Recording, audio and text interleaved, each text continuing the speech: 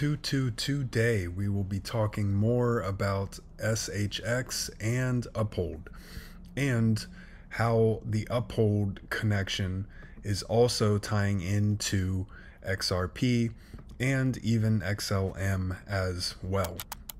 So if we go back to this, um, we have a post by Green Knuckles who uh, puts out a lot of good content uh, on SHX in particular.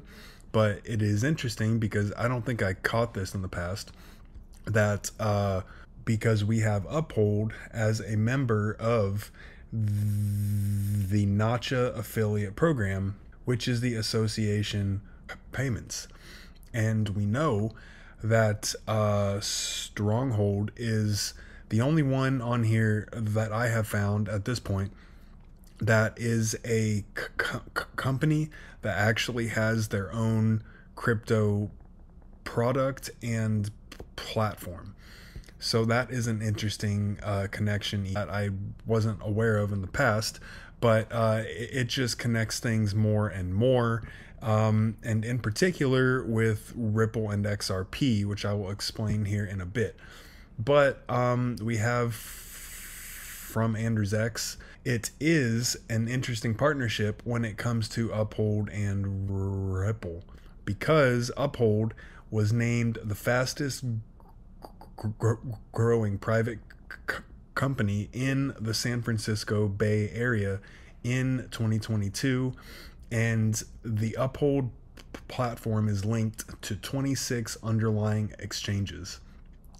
And that is important for liquidity Okay, so here is a recap on why uh, Stronghold and SHX and its connections into their USD token that runs on IBM WorldWire, which then runs on XLM, uh, why that is actually so important. Well, uh, the ACH system is over five times the size of the Visa payment network, and uh, Nacha governs the ACH network. And uh, I believe it was uh, for 2022. Uh, the ACH payment uh, volume in one year was 76.7 trillion, almost 77 trillion.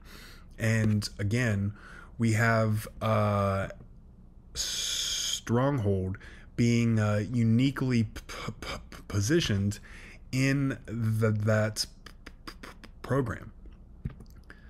So here's where uh, this conversation got a little bit more interesting, and a couple of the people that I follow uh, to help me with putting out uh, good information on uh, on SHX.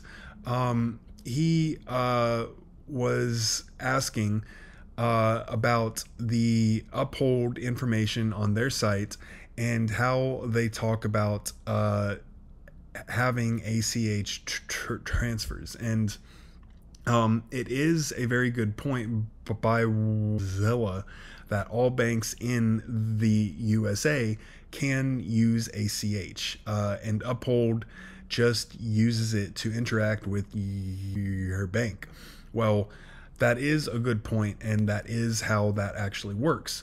But we can't overlook the fact that Uphold is in uh, or is a member of the same organization uh, as Stronghold is and how uh, deeply c- connected each of those entities are into XRP. So we had Kay Thingal uh, begin to expand upon this a bit more, and he found some uh, really interesting things. So in 2013, Ripple uh, joined Nacha's Payments Innovation Alliance. And in about uh, 2020, they uh, were not taking part in th- th- th- that th- that anymore.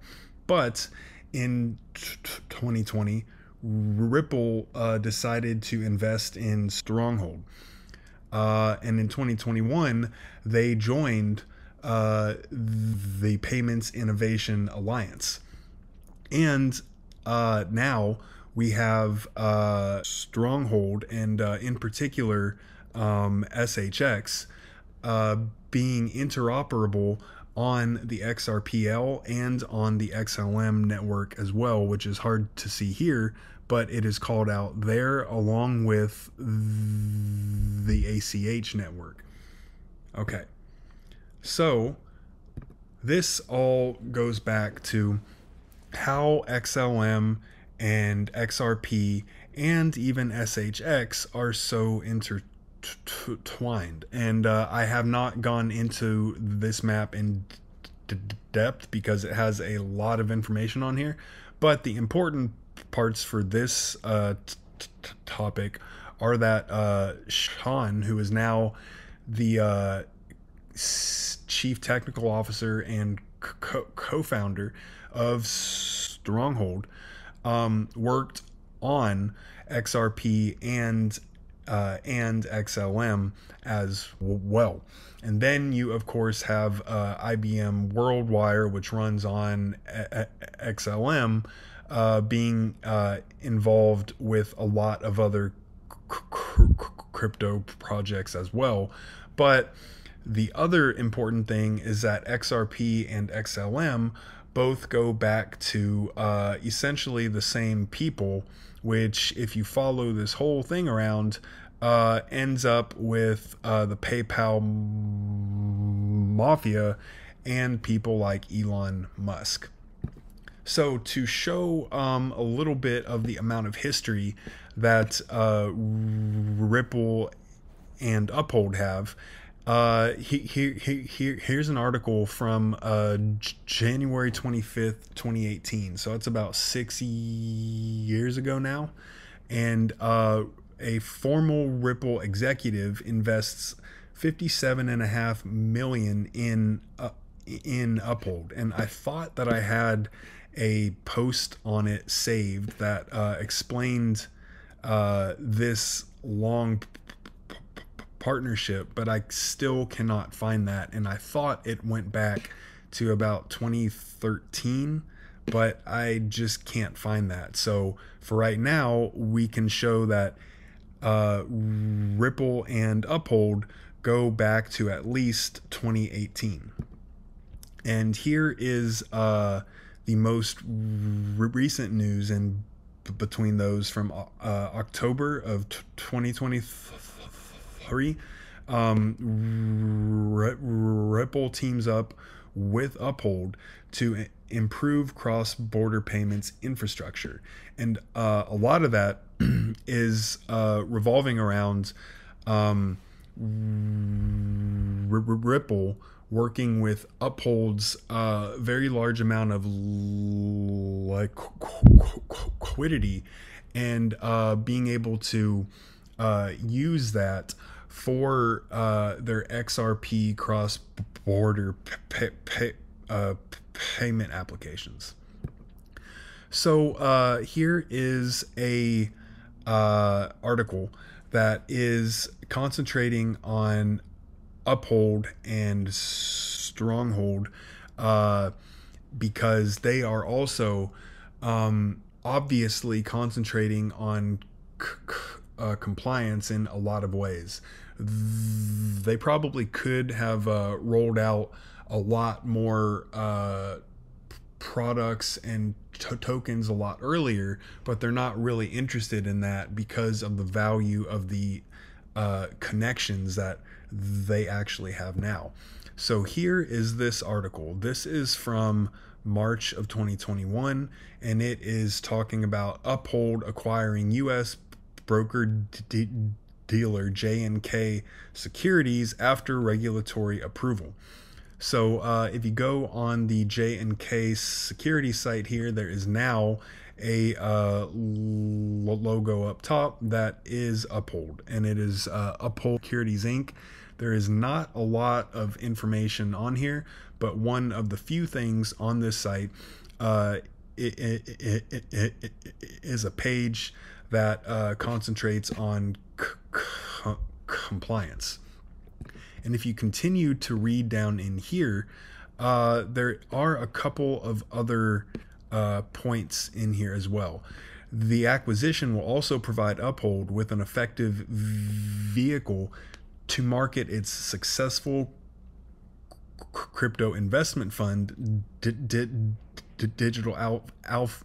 Ugh, digital asset alpha to hedge funds j&k securities traditional c- c- c- clients D- D- digital asset alpha takes non-directional bets on cryptos ca- capturing arbitrage and yield opportunities in derivatives and DeFi. So I looked up uh, digital asset alpha as well. And uh, again, there's not a lot of information on this site. Um, in fact, that's about it. But I was able to find a uh, SEC Form D, which is a uh, exemption notice for offering of securities. And I tried to find out um, a little bit more on what exactly that means because I'm not exactly a finance guy, but it looks like um, a form that an entity has to file uh, when they begin offering securities or um, if they have done something in the past. I'm still not a whole, uh, like, I'm not sure there, but it does call out uphold as a related person on this form, which is very interesting.